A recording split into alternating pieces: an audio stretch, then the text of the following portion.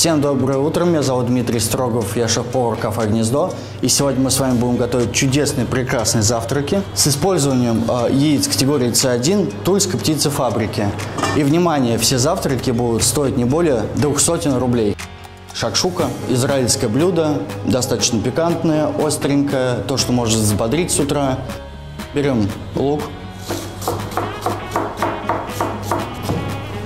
берем сотейничек, ставим на плиту, берем наш лук. Параллельно мы с вами берем болгарский перец. Достаточно половиночки будет. Отправляем туда же к нам сотейничек.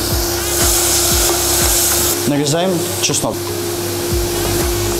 Наш чеснок отправили к шакшуке. Нарезаем перец чили. Дальше мы берем с вами томаты. Добавляем туда томатик. Чуть-чуть присаливаем, совсем чуть-чуть. Добавляем всегда томат собственным соком. Убавляем на самый медленный огонь и тушим где-то минут 15. Мы добавляем чуть-чуть соль, чуть-чуть сахар, специи, кумин, мытые яйца категории С1. Обязательно э, яички надо промывать, потому что на них очень много бактерий. Берем сковородочку,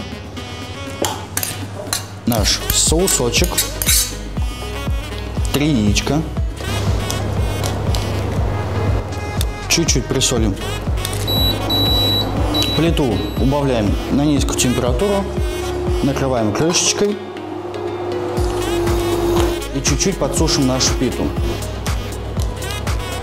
Если вам не хватает витамина D, в желтках яиц его достаточно много. Наша пита готова. Берем фету, намазываем, кладем пучок кинзы. Наш шакшука с вами готова. Добавляем сверху для красоты кинзы. Бон аппетит!